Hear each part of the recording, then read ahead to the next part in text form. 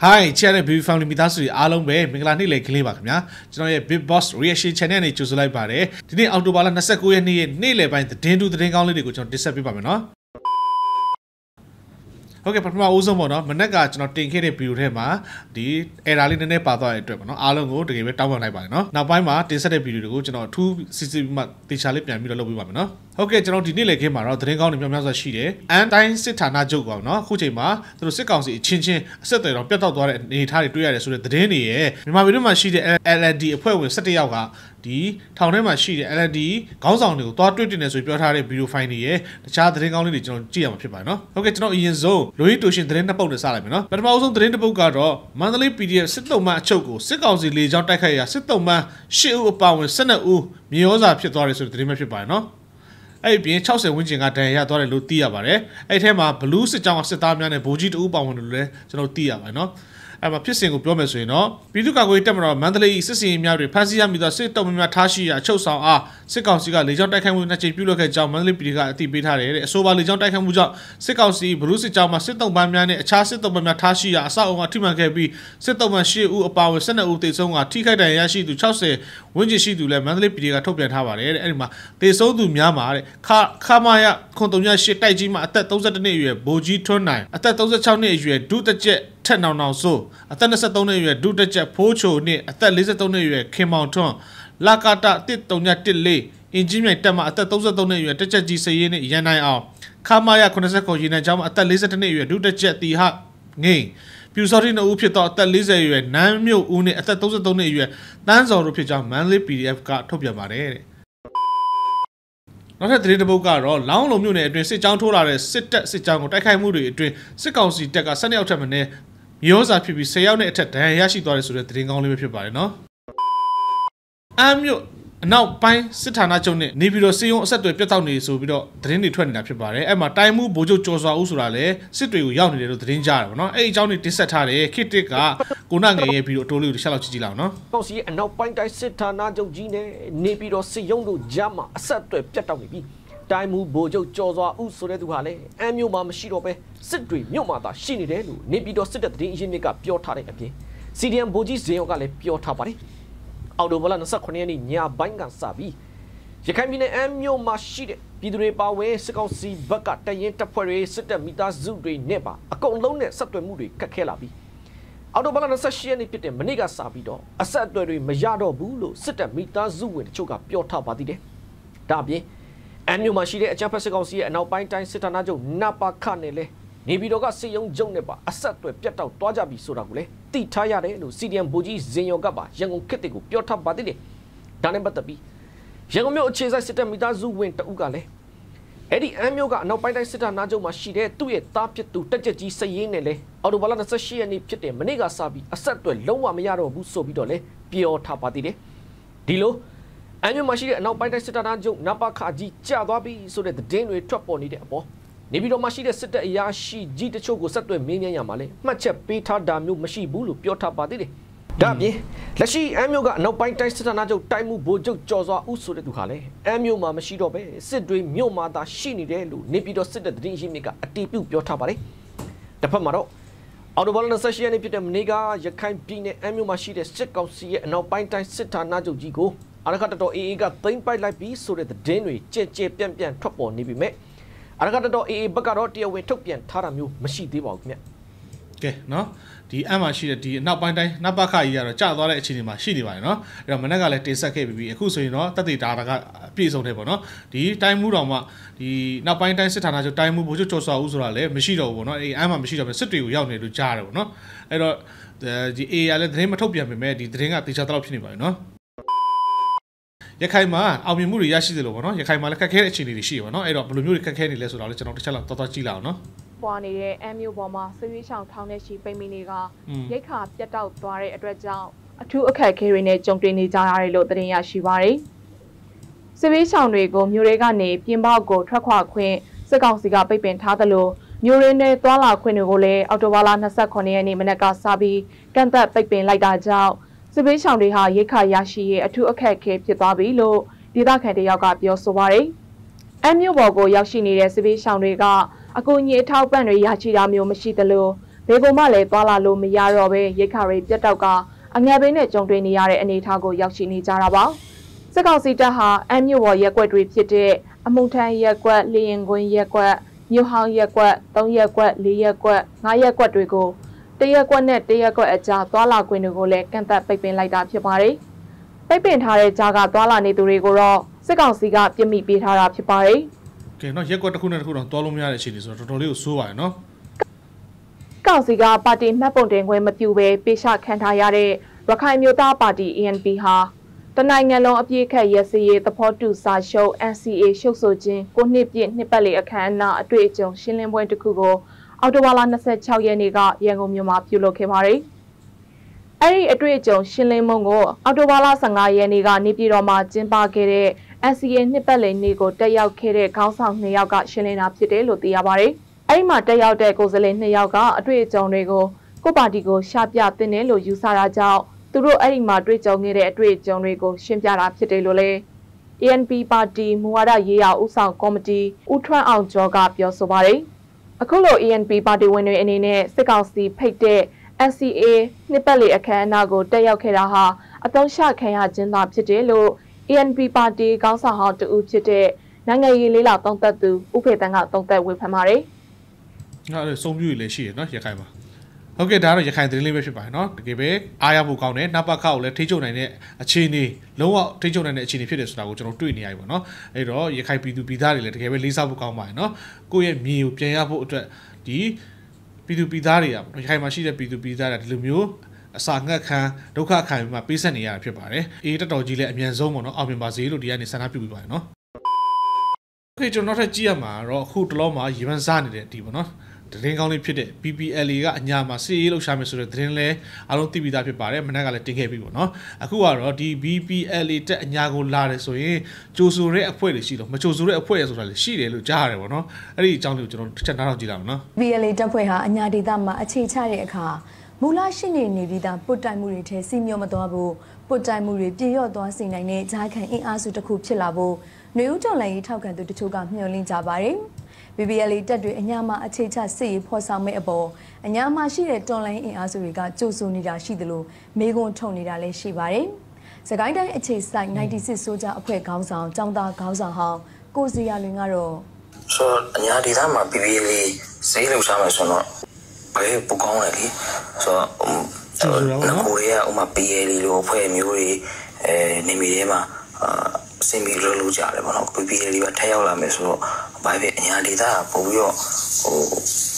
ပိုကောင်းမှုပဲဖြစ်လာတာပေါ့နော်ဒါတွေအားလုံးကကျွန်တော်အဲ့လိုပဲမြင်ပါတယ်အကောင်းဘက်ကပဲမြင်တယ်ပို့ပြီးတော့တော်လိုင်းရောပေါင်းလက္ခဏာပိုဆန်လာနိုင်မယ်လို့မြင်တယ်ဒါပေမဲ့နေမီမှာတော့ပူပေါင်းဆောင်ရွက်တာတွေညှိနှိုင်းဆောင်ရွက်တာတွေတော့အကုန်လုံးကြရမှာပေါ့ဗျဟုတ်လက်ရှိစကိုင်းတိုင်းထဲမှာအခြေချနေတဲ့တပ်ဖွဲ့တစ်ခုကတွန်လိုင်းရဲဘော်တူကတော့အညာမှာပဲပြေးပြေးလာတာပေါ့နော်ဒီစီကပြည်ရတဲ့ပြည်ပြည်တွေတကယ်လိုအပ်ချက်အရာ အဲ့ဒါကလည်းဗီဒီယိုတွေနဲ့တာဝန်နဲ့ဖွဲ့ပြီးအာတိတ်မကြည့်ဘူးနော်ဒီပဲလားလက်မခံမရှိပါဘူးကျူတူရောဒီမရှိဒီကနေ့ဖွဲ့ကြည့်လက်မခံနေနိုင်တယ်မရှိပါဘူးအဲ့မဲ့ကိုရှိတာကသူကခုမှလာစီလောက်ချမယ်ဆိုတဲ့ကမှရှိမှတော့မလို့လာပြီးလောက်ချရတာလေအညာမှာလည်းခင်မရှိတဲ့အချိန်မှာမလို့လာပြီးမလောက်ချရတာလေပေါ့နော်ခုအညာမှာဒီပါနဲ့ဒီအဲ့ဒါနဲ့ဒီစုံဖို့နေနေကြကြရတာပြီးဆိုမှဘာလို့အညာကိုဝင်လာကြလဲဘာလို့အညာဆိုတဲ့ကောင်တုံးလာကြလဲပေါ့နော် ဟိုဒါစိတ်နေတဲ့သဘောတရားရပြောမှာပေါ့။အားလည်းဆိုတော့နိုင်ငံရေးမျက်နှာထုတ်တာလားပေါ့။ကျွန်တော်အညာမှာမီးလောင်ပြီးတဲ့ကျွန်တော်တို့မရှိတဲ့နေရာတော့သူတို့ကြေးရောက်နေရတယ်ပေါ့။တိုင်းသားနေနေဒီမှာသွားပြီးတော့လုပ်နေတိုင်းနေကြပြီးတော့ခုကျမှပြည်သားအညာကိုလာပြီးတော့လုပ်နေရတယ်ပေါ့။လာလာပြန်လာခဲ့ကြတာဝင်လာခဲ့ကြတာပေါ့နော်။အချိန်ရောကျွန်တော်တို့ပြည်သူတွေဒုက္ခရောက်နေတဲ့အချိန် စစ်ကောင်စီရဲ့လက်ချက်များခံနေရတဲ့အချိန်လက်လက်ခံမရှိနေတဲ့အချိန်မှာတော့ဘာလို့မလာကြတာလဲအခုကျမှတော့တဲ့တော့တဲ့နေပြီးစမတိကျရတယ်ပြီးဆိုတော့ဘာလို့ပြန်လာကြတာလဲပေါ့နော်တကယ်ကိုဒီလူတကယ်ကိုဒီလူတွေတူနေတကယ်ပြီးချင်းတယ်ဒါစက်နာကနေဆိုလို့ရှိရင်တော့ဒီနေ့မှရှိပြီးသားအပွင့်နဲ့ဒီလိုမျိုးလာလို့ရှိမှ ဒီမှာရှိတဲ့ပြည်နယ်ကြီးတွေဒီစီတွေဒီဆက်ပုံမှန်နေတာမှာတော့ရှိပါဘူးနော်အဲစစ်ကောင်စစ်ကြောင်းထိုးတဲ့အချိန်တော့ဘယ်ရောက်နေလဲပေါ့နော်အခုအညာမှာအခုမှဒီနေမီထိန်းချုပ်နိုင်တဲ့အခြေအနေတွေရှိမှာပါဖြစ်လို့ပြန်လာလဲဆိုရင်မှဒီမေးထားတာဖြစ်ပါတယ်ဆက်ပြီးတော့ကျွန်တော်နားထောင်ကြည့်လောက်နော်။အောက်ကတက်တွေအနေနဲ့အမျိုးသားညီညွတ်ရေးအစိုးရ NUG နဲ့ညှိနှိုင်းမှုယူဖို့လွယ်လိုအပ်တယ်လို့သူကဆိုပါတယ်။ BBL ကတော့ NUG ကာကွယ်ရေးဝန်ကြီးဌာနနဲ့စစ်ရေးပူးပေါင်းဆောင်ရွက်မယ်ဆိုပြီး2022ခုနှစ်အောက်တိုဘာကလေးကနှစ်ဖက်တွေ့ဆုံဆွေးနွေးထုတ်ပြန်ထားတာရှိပါတယ်။ NUG ကာကွယ်ရေးဝန်ကြီးဦးရင်မွန်နဲ့ BBL ဘက်ကမောင်ဆောင်ခါတို့ဦးဆောင်တဲ့နှစ်ဖက်တွေ့ဆုံဆွေးနွေးမှုတွေအတွင်းစစ်ရေးအပြင်နိုင်ငံရေးအရာအပြန်အလှန်လေးစားမှုအသည့်အမှတ်ပြုမှုတွေကိုအတူတကွလက်တွဲဆောင်ရွက်ကြဖို့သဘောတူခဲ့ကြတယ်လို့လည်းအဲ့ဒီထုတ်ပြန်ချက်မှာဖော်ပြပါတယ်။ အဲ့ဒီသဘောတူညီချက်တွေဟာလက်ရှိအချိန်အထိဆက်လက်တည်ရှိနေစေပဲလို့ BBLA တာဝန်ခံမောင်ဆောင်ခါက DNA ကိုပြောပါတယ်။ကဲဒါကတော့ BBLA အညာမျိုးကိုပြန်လာတဲ့သတင်းလေးပဲဖြစ်ပါတယ်နော်။အဲ့တော့ကြိုဆိုတဲ့သူတွေရှိလို့မကြိုဆိုတဲ့တိုင်းတပ်ဖွဲ့တွေလည်းတွေ့နေရပါတော့။အဲ့တော့ ဒီမကြိုဆိုတဲ့ဟာကတော့သူတို့ကတော့မိကုန်းတွေအများကြီးမေးထားပါတော့ဒါပေမဲ့လည်းပြောမယ်ဆိုရင်တိုင်းပြည်အခြေအနေရအခုချိန်မှာဆိုရင်သူတို့တိုင်းသားဒီနေမြေမှာစီးရေးဖော်ဆောင်ခြင်းအပြင်သူတို့အတွေ့အကြုံတွေရတယ်လက်နက်ခဲယမ်းတွေရတယ်လူရင်းအားတွေလည်းများလာတဲ့အခါမှာအညာမျိုးပြန်ကြည့်တဲ့အခြေအနေဖြစ်တယ်ဆိုတာသိရတယ်ပေါ့နော်အဲ့တော့အားလုံးပဲအခုချိန်မှာဒါမျိုးတွေမထားဘဲနဲ့ပေါ့နော်စီစီလုံးလုံးနဲ့စစ်ကောင်စီကိုချိန်မွေးရမှာဖြစ်ပါတယ်နော်သူကြောင့်ငါကြောင့်မဟုတ်ဘဲနဲ့အခုချိန်မှာဘလောက်ပဲဟို PPL တွေပြန်လာတယ်ပြန်လာပြီးပူအောင်တိုက်ရင်တောင်မှဒီစစ်ကောင်စီကိုမနှဲတိုက်အောင်ပါပေါ့နော်အဲ့တော့ကိုကကို့ဖွဲ့တယ်ဆိုရင်တော့ဘလို့မဖြစ်နေတာလဲအားလုံးသိပြီးသားပဲလေနော်အဲ့တော့အားလုံးပြန်ပေါင်းစည်းပြီးမှအတူတူတွန်းလှန်ကြဖို့လိုပါတယ်နော်အဲ့တော့ဒီ PPL ကချိန်ညာထားတဲ့အတိုင်းပေါ့နော်သူကဒီ NUG နဲ့လက်တွဲမြဲလက်တွဲနေတယ်ပေါ့နော်သူတို့အချိတ်ဆက်တွေရှိပြီးသားဖြစ်ပါတယ်နော်ကဲနောက်ထပ်သတင်းလေးကတော့ကျွန်တော်တို့ NLD ပါတီဝင်တယောက်ရဲ့ပြောထားတဲ့သတင်းလေးပဲဖြစ်ပါတယ်เนาะအဲ့တော့တချို့ဒီ NLD ပါတီဝင်တချို့လူတွေကစစ်ကောင်စီကိုစန့်ကျင်ပြီးတော့ဒီတခြားနိုင်ငံတွေရောက်နေသူတွေရှိတယ်မင်းအောင်လှိုင်ရဲ့လက်အောက်မှာနေပြီးမှပေါ့နော် ဒီဆက်ပြီးတော့ပါတီဝင်ဖြစ်နေဆက်ရှိနေတဲ့လူက17ယောက်ရှိတယ်ပေါ့နော်အဲ့တော့ဒေါအောင်ဆန်းစုကြည်နဲ့ဒီခေါင်းဆောင်တွေပေါ့နော်ဒီလေးနှစ်အတွင်းမှာဘယ်သူမှသွားမတွေ့သေးဘူးဆိုတဲ့အကြောင်းအရာရဲ့သူတို့သွားတွေ့တဲ့နေဆိုပြီးမှပြောထားပြီးမှတခြားပါတီနဲ့ပတ်သက်တဲ့အကြောင်းလေးကိုပြောထားတဲ့ဟာလေးပေါ့နော်နားထောင်ကြည့်လိုက်အောင်နော်ပြီးတော့မှတော့ဟိုတော်လာရေးထဲမှာပါနေတဲ့ပါတီဝင်ဖြစ်လို့နေနေအဲတော်လာရေးထဲမှာမပါတဲ့ပါတီဝင်ဖြစ်လို့နေနေဒီပါတီရှင်တန်ရေးအတွက်ကတော့ပါတီဝင်တိုင်းမှာတာဝန်ရှိတယ်ခုပြောတဲ့သူကတော့ကတာမြို့နယ်ပြည်သူ့လွှတ်တော်အမတ်ကိုကျော်စာဝင်းဆိုတဲ့သူပဲဖြစ်ပါတယ်နော် ကျွန်တော်မှလည်းတာဝန်ရှိပါတယ်အဲ့တော့ခုနကကျွန်တော်ပြောလို့ပါတီကဟိုတည်သွားတာတော့လောလောဆယ်တော့တည်သွားတာတော့မဟုတ်သေးဘူးအသက်ရှူကြနေတဲ့အခြေအနေပေါ့နော်ဘာကြောင့်အသက်ရှူကြတာလဲဆိုတော့စီးစီတွေကသုံးဖြတ်ချက်ကျွန်တော်တို့မချပေးမိပဲနဲ့အဲကျွန်တော်ဆိုရင်လည်းတိုင်းလို့မှုဆောင်ဖွဲ့ထဲမှာပါတယ်ပေါ့နော်အဲ့တော့ကျွန်တော်အဲ့တော့ကျွန်တော်တို့ကစီးစီကိုပဲကျွန်တော်တို့ကတာဝန်ခံရတာဖြစ်တယ်အော်စီးစီသုံးဖြတ်ချက်မရှိဘဲနဲ့အဲကျွန်တော်တို့နိုင်ငံရေးရသုံးဖြတ်ချက်တွေကိုကျွန်တော်တို့တွားချလို့မရအောင် ဟောစီးစီမစုံမဲနဲ့အဲကျွန်တော်တို့ပါတီကအာဘာမှလုပ်လို့မရအောင်ဒါပုံမှန်လေးလေးပြောခြင်းဖြစ်ပါတယ်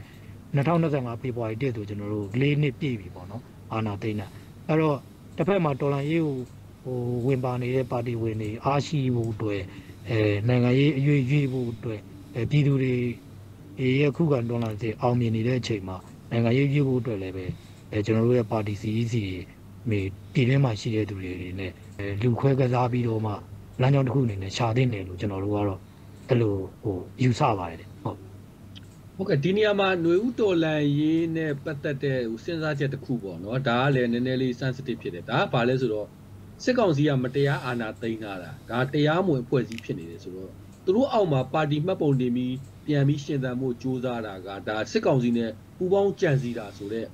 ဟိုသဘောမျိုးလေဟိုပြောနေတဲ့ယူဆချက်တွေရှိတယ် ဆိုတော့အဲ့ဒီအပေါ်မှာကိုကျော်စွာဝင်းနေတယ်ဘယ်လိုမျိုးမှတ်ချက်ပေးလို့လဲဘယ်လိုသဘောထားပေးလို့လဲ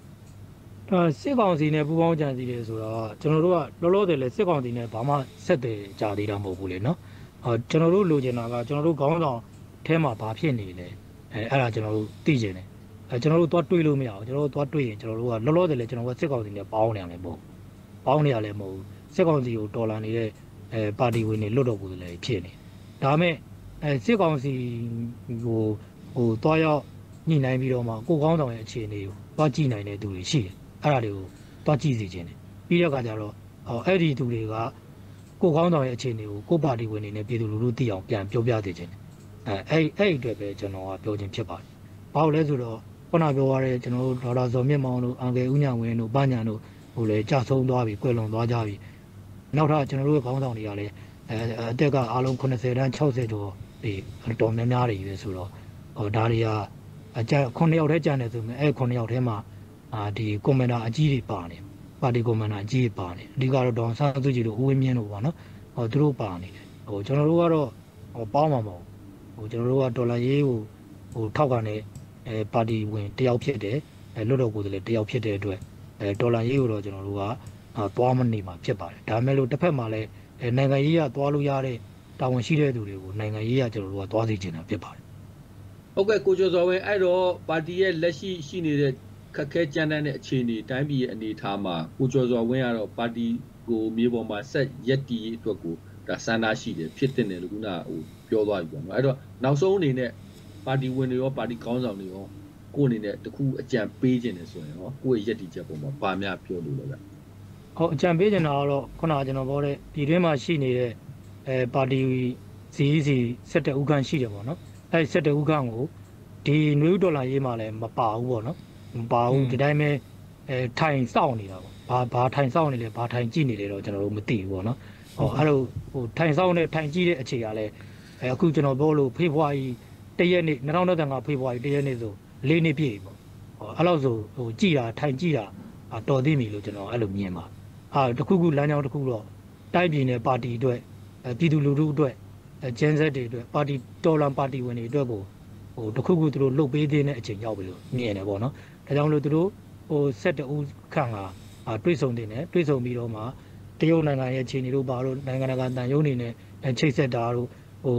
အကူအညီတောင်းတာတို့ပေါ့နော်အဓိကတော့ကိုယ်ကောင်းဆောင်တွေလွတ်မြောက်ဖို့အတွက်ပေါ့အဲ့ဒါကိုသူတို့စူးစမ်းတင်တယ်လို့ဟိုကျွန်တော်ကတော့အဲ့လိုမြင်တယ်အဲအန်ကယ်ဦးအောင်ရှိလိုမျိုးလုတ်ပိုင်ခွင့်မရှိဘူးတော့မယ်ဒီဆက်တဲ့ဥရအားနဲ့အဲ focal person လိုမျိုး ဟိုဒေါန်စားစုကြည်နဲ့ဆက်သွယ်ဆောင်ရွက်မယ်အဲ focal person လိုမျိုးဒီဆက်တစ်ယောက်တည်းကနေအဲသူတို့ဟိုရွေးထုတ်ပြီးတော့မှအာဒေါန်စားစုကြည်နဲ့အဲတွေ့နေအောင်စူးစမ်းဖို့အတွက်အဲလမ်းစားတွေလမ်းကြောင်းတွေရှာတင်တယ်လို့ကျွန်တော်တို့ကအဲ့လိုမြင်တယ်အဲ CWC အနေနဲ့ကတော့ဟောဘယ်လိုမှရှာလို့ရမှာမဟုတ်ဒီလိုပဲအားနည်းချက်တွေအမျိုးမျိုးနဲ့အဲလမ်းကြောင်းရှာလို့ရမယ့်အခြေအနေမှမရှိဘူး CWC ကတော့ CWC နဲ့လည်းအဲသူတို့အနေထားနဲ့အဲချိတ်ဆက်တင်တယ်လို့ထင်တယ်အဲ CWC နဲ့အဲချိတ်ဆက်တဲ့အခါမှာလည်း အဲ့လိုပေါ့နိုင်ငံရေးရအာကိုပါတီဝင်ချင်းချင်းအဲပြန်ချိတ်ဆက်တင်တယ်ဟန်ချက်ညီညီနဲ့အဓိကကတော့ဟောခေါင်းဆောင်တွေလွတ်မြောက်ဖို့အတွက်ကိုဦးစားပေးပြီးမှအာလုပ်ငန်းကိုလှုပ်စေခြင်းတယ်အဲဒါမှလည်းကျွန်တော်တို့နိုင်ငံရေးအဖြေတွေကိုရှာနိုင်မယ်ပေါ့နော်ဟောဒေါအောင်ဆန်းစုကြည်တာလည်းအဲတိုင်းပြည်အဲတည်ငြိမ်အေးချမ်းရေးနဲ့ပြည်သူလူထုအားလုံးအတွက်ကိုစိတ်ဆန္ဒအမှန်နဲ့အဖြေတစ်ခုကိုရှာထုတ်နိုင်တဲ့ပုံကိုလို့ကျွန်တော်တို့ကတော့အဲ့လိုယုံကြည်တယ်ပေါ့နော် ကိုကျွန်တော်နောက်ဆုံးကြည့်ရမှာကတော့ဒီမှာဒီပဲခူးတိုင်းမှာတောင်းချမ်းနေတဲ့အုတ်ကြီးသိမ့်လွင်ဆိုတာကိုနာမည်နဲ့တော့တက်မှာကိုစီပြောထားတဲ့သတင်းလေးနားထောင်ကြည့်လောက်နော်တန်ကုန်းရက်ွက်အောက်ချုပ်ရမှုတိန်းလွင်ကနော်အဲ့ဒီဒေတာမှာရှိတဲ့ထိုင်းရောက်နေတဲ့မိသားစုတွေကိုတအိမ်ကိုတသိန်းအတင်းအဓမ္မကောက်ခံနေတယ်ဆိုတဲ့အကြောင်းကိုကျွန်တော်ကိုဒေတာခံပြည်သူတွေကလှမ်းပြီးတော့တိုင်းလာဖြစ်ပါတယ် အောက်ချုပ်ရမှုတိန်းလွင်ဆိုတာတစ်ချိန်ကတိုင်းဒီကြုံရကြဖန်းလှုပ်ရှားနေတဲ့ဒုတိယဟုတ်တဲ့ဒါပေမဲ့တန်းရွှေလက်ထက်မှာအတွင်းမှုလုပ်ခဲ့တယ်။ဦးသိန်းစိန်အစိုးရလက်ထက်မှာဥက္ကဋ္ဌလုပ်ခဲ့တယ်။ဒေါအောင်ဆန်းစုကြည်လက်ထက်မှာလည်းအဲ့ဒီဥက္ကဋ္ဌကမပြုတ်ဘဲနဲ့နော်အဲ့ဒီကနေစပြီးတော့ဥက္ကဋ္ဌမပြုတ်ဘဲနဲ့အခုချိန်ထိဒေတာမှာတောင်းကျမ်းနေတယ်။အခုတော့သူကဖြည်းဖြည်းလဲလဲဖြစ်နေတယ်။အတိုးအရင်းတွေဘာတွေချပေးပြီးတော့ နော်သူအတိုးပေးအုတ်ကြီးတွေကောင်းစားတယ်ပေးတဲ့သူကိုလည်းသူ့အာဏာနဲ့ဖိချောက်ပြီးတော့ဖမ်းမယ်စီးမယ်တတ်မှတ်ဖြစ်မယ်ပုံစံမျိုးလုပ်ပြီးတော့သူတို့မျိုးတွေလှုပ်ရှားနေတယ်။ဒါကလက်ရှိသူ့ကြွားသားတွေလမ်းတိုင်တဲ့ကိစ္စအစိုးဆုံးကအခုတအိမ်ကိုတသိန်းပေးရမယ်မပေးတဲ့လူကိုစစ်တပ်ခေါ်ပြီးတော့ဖမ်းမာလို့ဆိုတဲ့အကြောင်းအရာကိုကျွန်တော်ကိုတည်င်းပို့လာတယ်။ရွာထဲမှာလည်းအခက်မတင့်ရင်ကျိန်းမောင်းပါရိုက်ဒီလိုမျိုးပြည်သူတွေကိုကိုထိလက်ရောက်ကျူးလွန်မှုတွေလည်းရှိတယ်လို့ကြားသိရတယ်နော်။ ကျွန်တော်အတန်ပေးလာတဲ့လမ်းပြောလာတဲ့လူကိုတော့ကျွန်တော်လုံခြုံရေးရာထုတ်ဖို့ပြောမှာမဟုတ်ဘူးနော်။ကဲဒီအုတ်ချုပ်ရမှုတိန်းလွင်ကရွာ၄ရွာကိုသူကအုတ်ချုပ်ထားတာကံကုန်းရွာအပါဝင်အာရွာလေးကဆိုပွားရွာအုပ်ချုပ်အုတ်ချုပ်ပြီးအုတ်ချုပ်ထားတာဒီကာလမှာတော့ထိုင်းကိုတွားတဲ့လူတွေသူတို့မထောက်ပံ့လို့ရှိရင်ပြန်လာရင်စစ်တပ်နဲ့ဖမ်းခိုင်းမှစီးခိုင်းမှစတဲ့ဖြင့်ရွာမှာမျိုးစုံဒုက္ခပေးနေတယ်နော် ပြီးလို့ရှိရင်လည်း तू ကအတိုးအရင်ချစားပြီးတော့ရွာမှာတသေးလုတ်ပြီးတော့ပြည်သူတွေကိုဒုက္ခရောက်တယ်ဒုက္ခရောက်အောင်နိုင်ထက်စီနေပြုတ်ကျင့်နေတာဒီစစ်ရုပ်ချုပ်ရေးဒီပြောမယ်စစ်ဒီစစ်မှုထမ်းဥပဒေမှာလည်းနော်ရွာထဲမှာလက်စားပြီးတော့ဘ누구စစ်မှုထမ်းဥပဒေကြတာလို့သူတို့မျိုးမဟုတ်မမှန်တာတွေနဲ့ ပြည်သူတွေကိုဒုက္ခပေးနေတယ်ဆိုတော့ဒေတာခံပြည်သူတွေကနေ ကျွန်တော်တိုင်ကြလာတာအဲ့တော့ပဲခူးတိုင်းတနတ်ပြင်မြို့နယ်ကံကုန်းရက်ွက်ဥက္ကဋ္ဌသိန်းလွင်အနေနဲ့နော် ဒီလိုအလုပ်တွေလုပ်နေတာကိုယ့်ကိုမှန်လားမှားလားဆိုတော့ပြန်စမ်းစစ်ဖို့ကောင်းတယ်ခစ်ပြက်မှာတထေးဖြစ်နေတာလားခစ်ပြက်မှာလူရဝင်နေတာလားမင်းတို့လောက်ခဲ့တဲ့တမိုင်းဘယ်တော့မှပြောင်းမှာမဟုတ်ဘူးနော်ကစ်သက်ရှစ်ပုံစံမျိုးအချိန်တိုင်းတက်ကအာနာပိုင်ဝမ်းလိုက်မယ်လို့ထင်လို့ချင်းခွေးဖြစ်သွားလိုက်မယ်နော်ခွေးစားမခင်းကြနဲ့တိလားလူဆိုတာလောဘတော့ရှိကြတယ်လူတိုင်းမှာလောဘရှိတယ်မပြောဘူးအပြစ်ယာရုရခြင်းနဲ့ကြီးပွားခြင်းနဲ့ချမ်းသာခြင်းနဲ့ ဒါပေမဲ့အတိုင်းထက်အလွန်ဖြစ်လာလို့ရှိရင်ဘယ်ရာမှမရဘူးနော်အဲ့တော့အုတ်ချုပ်မှုတိန်းလွင်နေနဲ့ကိုလောက်ရက်ကိုကိုရက်တန်းရက်မှလားစစ်ခွေးနဲ့ပေါင်းပြီးတော့ပြည်သူကိုထတ်ဒုက္ခပေးမှလားကြိုက်တဲ့လမ်းကိုရွေးနော်မင်းလောက်ရက်တွေများနေပြီငါတို့ပြည်သူတော်လှန်ရေးတပ်ဖွဲ့တွေအနေနဲ့မင်းတို့ data ကိုမရောက်ဘူးလို့ထင်လို့ရှိရင်တော့မှားသွားလိမ့်မယ်နော်မှားသွားလိမ့်မယ်အဲ့တော့ဒီကာလမှာလေခစ်ပြက်နေတဲ့ကာလမှာပြည်သူအချင်းချင်းမဆောက်ရှောက်ရင်တော့မှ ဒုက္ခတော့မပေးကြနဲ့နော်ဟုတ်တယ်ကိုအုပ်ချုပ်မှုဖြစ်တယ်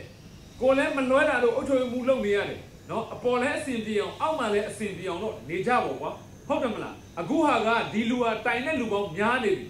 နော်အဲ့တော့သူကရွာမှာမျိုးစုံဒုက္ခပေးတဲ့ပြင်ထိုင်းတက်လို့လို့လူတွေတယောက်တသိန်းပေးမှဆိုမင်းတို့ထင်တာထိုင်းမှာပတ်စံရတာလောလောကူကူရတယ်များအောင်းမေ့နေတာသူများနိုင်ငံနိုင်ငံမျိုးစုံထိမျက်နှာမွေးမျက်နှာပြ ဘာသာစကားနားမလဲတော့နေရထိုင်ရတာအပေါ်ကနှိမ်တော့အလုပ်အချင်းကြားထဲမှာနိုင်ငံထိမျိုးစုံပြဿနာတွေကြားထဲမှာရလာတဲ့ချွေးနှဲစားကွာ